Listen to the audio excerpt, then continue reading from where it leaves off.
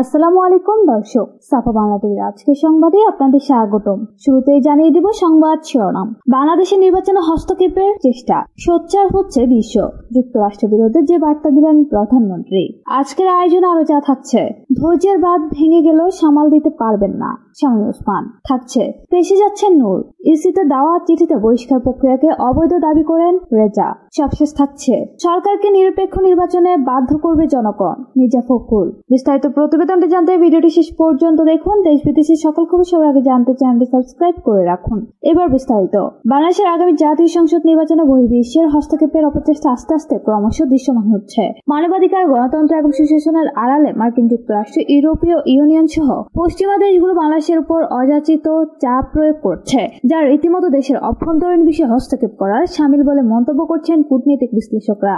অথচ নিজ দেশে চরমভাবে মানবাধিকার লঙ্ঘন হচ্ছে, সেদিকে এই পরাশক্তি দেশগুলো কোনো ভূক্ষেপ নেয়নি। বাংলাদেশের নির্বাচন নিয়ে পশ্চিমাদের মাথা এখন আর শুরু জাতীয় ইস্যু নয়। এটি এখন আন্তর্জাতিক ইস্যুতে পরিণত হয়েছে। কারণ শুধু বাংলাদেশের মানুষ নয়, বাংলাদেশের উপর অযাচিত চাপ নিয়ে এখন সোচ্চার আন্তর্জাতিক মহল। আর বাংলাদেশের উপর এরকম অযাচিত চাপ হস্তক্ষেপে যে মোটেও উচিত নয়, তা আরেকবার স্মরণ করিয়ে দিল রাশিয়া। বাংলাদেশের নির্বাচন নিয়ে যুক্তরাষ্ট্র ও ইউরোপের কিছু রাজনীতিবিদদের ভূমিকাকে নব্য উপনিবেশবাদ বলে মনে করছেন রাশিয়া। মস্কো মনে করে এই ধরনের পদক্ষেপ একটি সার্বভৌম রাষ্ট্রের অভ্যন্তরীণ বিষয়ে নির্লজ্জ হস্তক্ষেপের চেষ্টা। সাম্প্রতিক সময়ে রাশিয়া পররাষ্ট্র মন্ত্রণালয়ের এক টুইটে এমন মন্তব্য করা হয়েছে। টুইটে বলা হয়েছে, বাংলাদেশে অবাধ ও সুষ্ঠু নির্বাচনের আহ্বান জানিয়ে ইউরোপ এবং যুক্তরাষ্ট্রের রাজনীতিকদের লেখা কিছু চিঠি প্রকাশিত হয়েছে। বিষয়টি রাশিয়ার দৃষ্টিগোচর হয়েছে। এটা হলো নব্য উপনিবেশবাদ এবং একটি সার্বভৌম রাষ্ট্রের অভ্যন্তরীণ বিষয়ে, আরেকটি নগ্ন হস্তক্ষেপ। শুধু রাশিয়া একা নয়, বাংলাদেশের ব্যাপারে, হস্তক্ষেপের ব্যাপারে সোচ্চার বাংলাদেশের অন্যতম উন্নয়ন সহযোগী দেশ চীন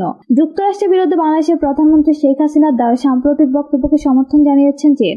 গত মাসে দেশটির পররাষ্ট্র মন্ত্রণালয়ের মুখপাত্র ওয়াং ওবিন বলছেন, গত মাসে দেশটির পররাষ্ট্র মন্ত্রণালয় মুখপাত্র ওয়াং ওয়েনবিন বলছেন, প্রধানমন্ত্রী শেখ হাসিনা শুধু বাংলাদেশের জনগণের পক্ষে শক্ত অবস্থান নিয়ে কথা বলেছেন এমন না। তিনি কথা বলেছেন আন্তর্জাতিক সম্প্রদায়ের বড় একটি অংশের হয়ে, বিশেষ করে উন্নয়নশীল বিশ্বের হয়ে। চলে যাচ্ছে পরের সংবাদে। নারায়ণগঞ্জ চার আসনের সংসদ সদস্য A K M Shami Osman বলেছেন, দি এন্ড এর পানি কমে গেছে। অনেকে সুযোগ পেয়ে খারাপ কথা বলছেন। আমি খুব কষ্ট পেলাম। এই কাজটা করছে বাংলাদেশ সেনাবাহিনী। যদি এই কাজটি নিয়ে খারাপ কথা বলা হয় তাহলে বাংলাদেশ সেনাবাহিনীকে অপমান করা হয়।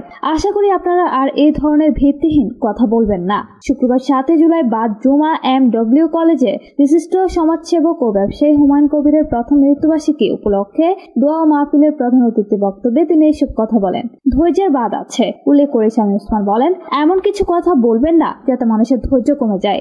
ধৈর্য, শক্তি ভেঙে গেলে কিন্তু পরে সামাল দিতে পারবেন না। লাগান দেন মুখে, রাজনীতি করেন ভালো কিন্তু শান্তি রাখেন। ষোলো বছর ধরে ক্ষমতায় আছি কাউরে একটা ফুলের টোকা দেয়নি তিনি আরও বলেন, অনেকে বড় বড় কথা বলেন, কষ্ট লাগে। বড় বড় কথা ও অশ্লীল ভাষায় কথা বলা বন্ধ করেন। এতদিন কে বিএনপি করত, আওয়ামী লীগ করত, ব্যাপার ছিল না। আমরা সবাই মিলেমিশে ছিলাম। কিছু লোক ব্যক্তিগত স্বার্থ হাসিল করার জন্য ফতুল্লাকে সিটি কর্পোরেশন করতে যাচ্ছে। গিয়ে দেখেন ফতুল্লায় কত কোটি টাকার কাজ হয়েছে। সুতরাং এমন কিছু করবেন না, ভালো হবে না। চলে যাচ্ছে পরে সংবাদে। সংগঠনের শীর্ষ দুই নেতার বিভক্তির কারণে নির্বাচন কমিশনের নিবন্ধন পাওয়ার আগে নতুন রাজনৈতিক দলটি এখন ভাঙনের পথে। দলটি কার্যত দুই ভাগে বিভক্ত হয়ে পড়েছে। এক পক্ষ রেজা কিপ্রিয়ার পক্ষে অবস্থান নিয়েছে আর এক পক্ষ নূরের পক্ষে। তবে পরিস্থিতি বলছে, দলের গুরুত্বপূর্ণ নেতাদের বড় অংশটি রেজার পক্ষে অবস্থান নিয়েছে। গণ অধিকার পরিষদের কেন্দ্রীয় কমিটির গুরুত্বপূর্ণ কয়েকজন সদস্য ছয় জুলাই সংবাদ সম্মেলন করে অভিযোগ করেছেন, নুরুল হক নূর ও তার সমর্থকদের তৎপরতা অবৈধ। অপরদিকে দলের এই পক্ষের বিরুদ্ধে পাল্টা ষড়যন্ত্রের অভিযোগ আনেন নুরুল হক নূর। দুপক্ষেই একে অপরের উপর গণ অধিকার পরিষদকে ভাঙার দায় চাপাচ্ছে। গণ অধিকার পরিষদের শীর্ষ এই দুই নেতাকে ঘিরে অনেকদিন ধরে দলটিতে অস্থিরতা চলছিল। সম্প্রতি সেই অস্থিরতার প্রকোপ রূপ নেয় দলের আহ্বায়ক রেজা কিবরিয়া ও সদস্য সচিব নূর একে অপরকে পাল্টাপাল্টি অব্যাহতি দেন। এমনকি আহ্বায়ককে অপসারণের মতো ঘটনাও ঘটেছে। এরপরই সার্বিক পরিস্থিতি নিয়ে আলাদা সংবাদ সম্মেলন ডেকে নিজেদের অবস্থান তুলেন দুই নেতা। তবে পরিস্থিতি বলছে, দলটির গুরুত্বপূর্ণ নেতাদের বড় অংশটি রেজার পক্ষে অবস্থান নিয়েছে। ফলে শেষ পর্যন্ত গণ অধিকার পরিষদে নিজের অবস্থান ধরে রাখতে পারবেন নাকি? কর্তৃত্ব হারাতে কর্তৃত্ব হারাতে যাচ্ছে যাচ্ছে নুরুল হক। নূর সেটি এখন কোটি টাকার প্রশ্ন। কারণ দলে গঠনতন্ত্র না মেনে নূর ভুয়া সাক্ষ্য দেখিয়ে দলকে ভাঙার অভিযোগ তুলে নুরুল হক। রাশেদ খান ও শাকিল উজ্জামানের বিরুদ্ধে এই মামলা করা হবে বলে জানিয়েছে রেজা কিবরিয়া। শুধু তাই নয়, গত চৌঠা জুলাই প্রধান নির্বাচন কমিশনার কাজী হাবিবুল আওয়ালকে চিঠি দেন রেজা কিবরিয়া। ইসিতে দেওয়া চিঠিতে নিজের বহিষ্কার প্রক্রিয়াকে অবৈধ দাবি করেন ডক্টর রেজা কিবরিয়া। তিনি দলটির আহ্বায়ক দাবি করে ওই চিঠিতে তাকে বহিষ্কার প্রক্রিয়া এবং নুরুল হক নুরু তার পরিবারের সদস্যদের সম্পদ তদন্তের অনুরোধ জানান। একই সঙ্গে নুরুল হক নুরের দেওয়া তথ্য আমলে না নেওয়ার কথাও বলেন চিঠিতে। সবশেষ ইসরায়েলের গোয়েন্দা সংস্থা মোসাদের এজেন্ট মেন্ডেল সাফাদির সঙ্গে গোপনে রাষ্ট্রবিরোধী ষড়যন্ত্রের অভিযোগ এনে গণ অধিকার পরিষদের সদস্য সচিব নুরুল হক নুরের নামে শাহবাগ থানায় আজ মামলায় আবেদন করেছে মুক্তিযুদ্ধ মঞ্চ।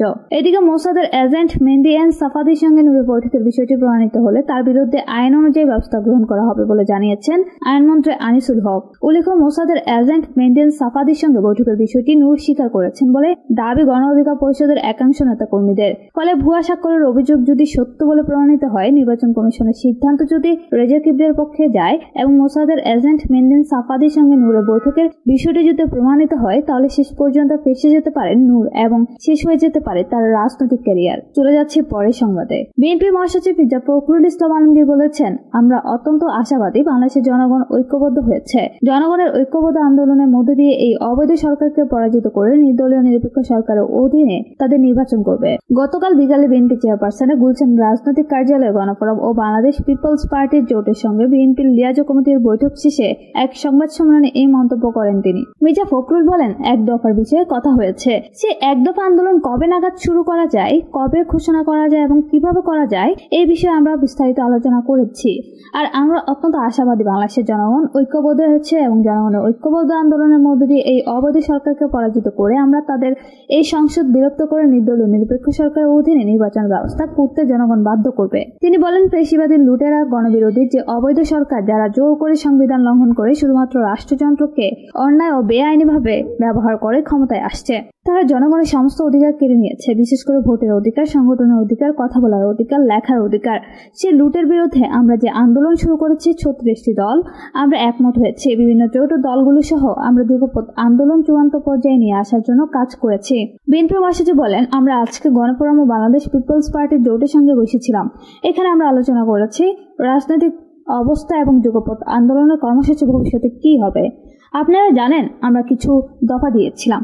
সে দফার ভিত্তিতে আমরা আন্দোলন করছি। এটাকে কীভাবে আরও কাছাকাছি আনা যায়, সে বিষয়ে আলোচনা হয়েছে। অ্যাডভোকেট সুব্রত চৌধুরী বলেন, এখন আমাদের একটা চূড়ান্ত সিদ্ধান্ত নেওয়ার সময় এসে গেছে। অতি শীঘ্রই অতি শীঘ্রই চৌথ ঘোষণার মধ্যে দিয়ে চূড়ান্ত আন্দোলন ও বিজয়ের লক্ষ্য আমাদের কাজ শুরু করব। আর এই যুগপথ আন্দোলনে আমরা আছি। আমরা সিদ্ধান্ত নিয়েছি, আমরা এক দফা আন্দোলনে যাচ্ছি, আর দ্রুত সময়ে আমরা এক দফা আন্দোলন জাতির সামনে উপস্থাপন করব। দর্শক, এতক্ষণ সাথে থাকার জন্য ধন্যবাদ। আমাদের পরবর্তী সংবাদ দেখার আমন্ত্রণ রইল। আল্লাহ হাফেজ।